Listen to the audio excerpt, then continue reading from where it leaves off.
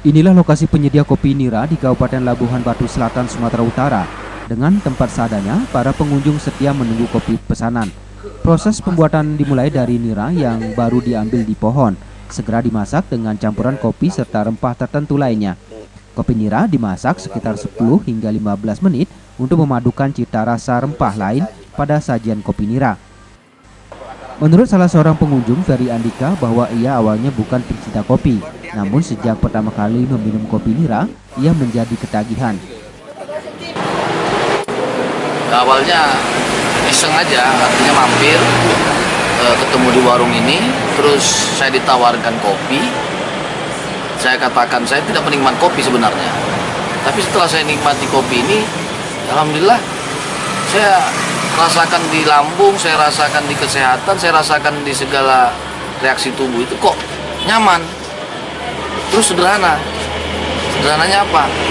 Kalau saya rasakan saya beberapa tempat kopi yang saya rasakan itu nggak seperti ini nikmatnya sehingga saya ketagihan. Sehingga saya hari ini kurang lebih eh, seminggu itu eh, kalau tiga kali empat kali wajib saya harus Para pelanggan kopi nira merasa minum ini berdampak bagus pada tubuh mereka. Selain rasanya nikmat juga tidak perlu khawatir pada penyakit lambung.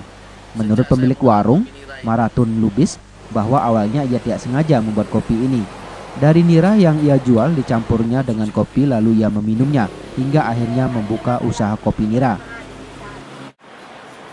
Saya ini, saya jual nira Pak. Cuman kadang-kadang laku Pak niranya, kadang-kadang nggak laku. Saya saya rebus itu kopi, jadi lagi menggelegak itu karena itu manis itu air gula itu. Saya coba, saya ambil itu gelas, saya taruh kopi. Enak saya rasa, saya ajak kawan saya Pak. Lama-lama saya ajak lagi kawan saya minum kopi. Ya ketagihan juga Pak.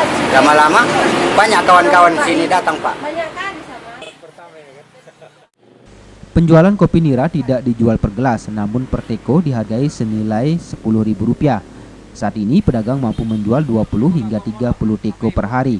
Tidak hanya diminum di lokasi, pembeli juga dapat membungkus kopi nira untuk dinikmati di rumah. Dari Labuhan Batu, Sumatera Utara, Tim Liputan melaporkan.